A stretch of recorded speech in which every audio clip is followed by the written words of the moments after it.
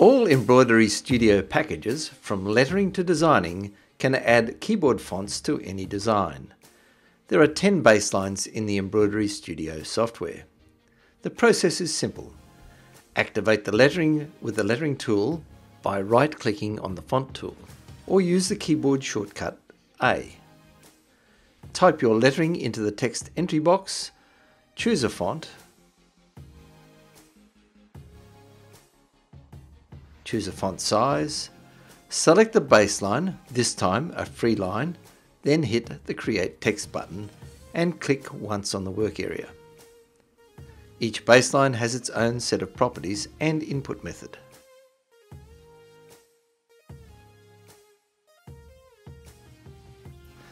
A circle, for example, requires a click in the center of the proposed circular baseline, move the mouse out to the radius, click release and hit the return or enter key.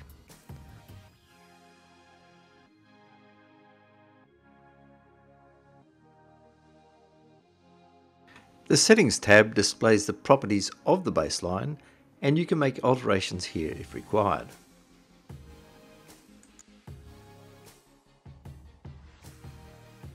To make an ellipse, click the center, then move to the X radius, followed by a Y radius and left click.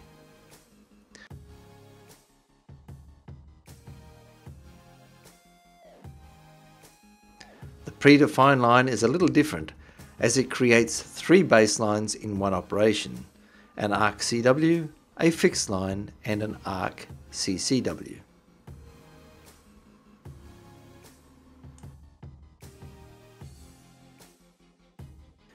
The input method is the same as for a circle, that is click in the center of the circle, drag out to the X radius or the only radius, left click again and hit return.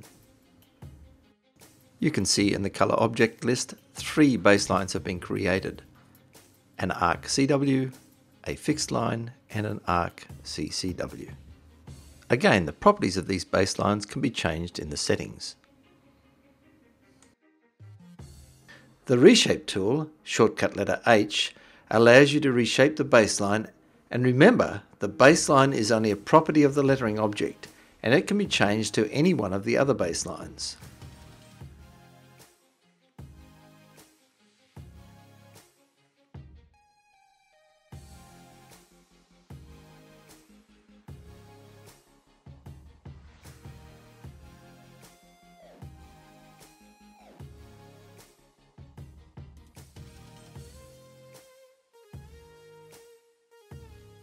Thank you for watching. Visit our website for more information.